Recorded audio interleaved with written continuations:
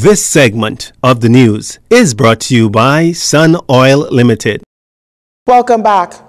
$800,000 budgeted for relocating the boarders at Princess Margaret Hospital. This coming from Minister of Social Services and Urban Development Frankie Campbell. During a virtual press conference held yesterday afternoon, Minister Campbell stated that his ministry and the Ministry of Health were working together to tackle the problem of boarders taking up much needed space in PMH. A boarder is classified as homeless patients who have been treated and discharged but have nowhere to go because no family members have come for them. In a combined initiative, the Ministry of Social Services and Urban Development and the Ministry of Health worked in tandem to relocate the boarders from the Princess Margaret Hospital to senior residential facilities. This joint effort is budgeted to cost approximately $800,000 in the first year for care and needs of the residents. The relocation of the boarders creates much needed space for critical care. When asked what the plan was moving forward for the boarders, Minister Campbell had this to say. If the children and loved ones of those boarders would find it in their heart to pay back what I'm sure those boarders would have extended to them in their formative years, Without going into detail, I'm sure, without fear of honest contradiction, that a high percentage of those boarders have family members who I hope are listening to me right now, and I hope will be touched that they will go and find a way to work with us to either reduce the expense or those who have a greater means take over the responsibility of caring for mommy and daddy and uncle who would have once cared for them. Early last month, Prime Minister Dr. Hubert Minnis reported that there were 33 boarders residing at PMH and costing the hospital $491 per day or $6 million per year. Some of the boarders were reportedly at PMH for years. Mr. Campbell contends that the $800,000 is a relative expense when compared to the 6 million per year that's costing taxpayers.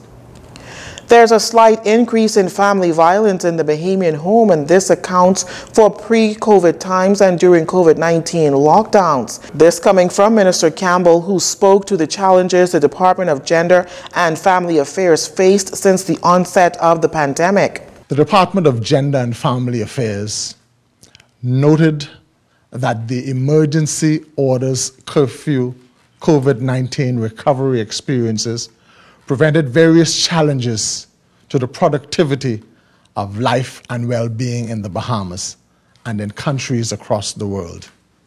In response to queries, complaints, and requests for assistance regarding challenges of increased violence, family feuds, depression, anxiety, loneliness, fear, and generally a need for help the Department of Gender and Family Affairs, in conjunction with the University of the Bahamas, conducted an online survey to ascertain the safety, well being of families during the COVID curfews and lockdown experiences. Minister Campbell says the Department of Gender and Family Affairs continue to work with NGO partners to monitor the violence. He adds that the department, along with government, the civil society partners and affiliates, hosted various virtual training seminars, workshops, and town hall meetings to address some of the COVID-19 challenges.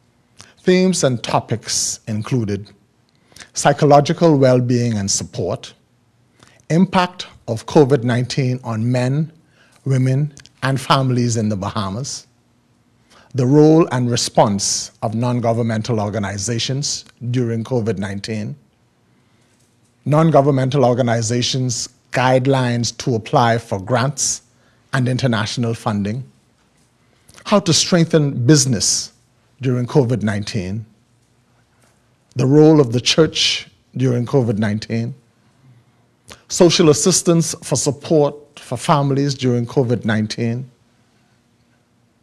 dealing with the stigma of contracting COVID 19, and the role of men in the family. A multi-stakeholder intersectorial council also provides training advice and guidance for families. The council is represented by several entities and departments, including the Ministry of Health, Ministry of Education, the University of the Bahamas, and the Royal Bahamas Police Force.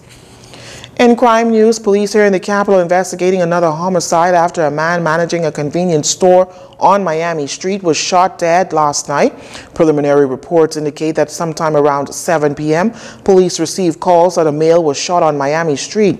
Officers responded and on their arrival at the Grace of God convenience store, they were informed that a lone gunman entered the establishment and demanded cash. A struggle ensued between a male manager and the assailant. This resulted in the manager being shot in the head. The victim was transported to hospital via a private vehicle where he later succumbed to his injuries. Investigations continue into this matter. Stay with us. This segment of the news has been brought to you by Sun Oil Limited.